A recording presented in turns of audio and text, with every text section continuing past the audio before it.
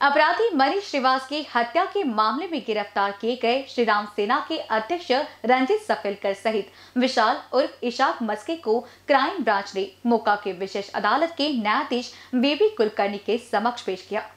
आरोपियों द्वारा संगठित रूप से किए गए अपराधों की जाँच और आपराधिक गतिविधियों के ज़रिए जमा की गई चल अचल संपत्ति का पता लगाने के लिए पुलिस हिरासत मांगी गई।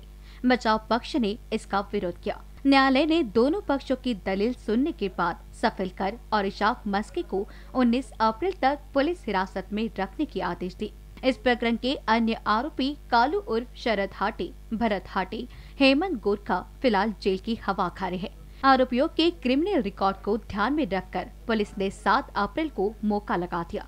रविवार को इस मामले में इशाक मस्के की गिरफ्तारी हुई। सोमवार को तगड़े पुलिस बंदोबस्त में दोनों आरोपियों की न्यायालय में पेशी हुई है।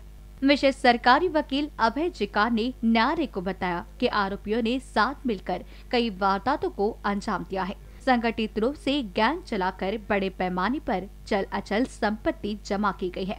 इस बारे में एनआईटी, एनएमसी, नगर परिषद और ग्राम पंचायत से जानकारी लेनी है।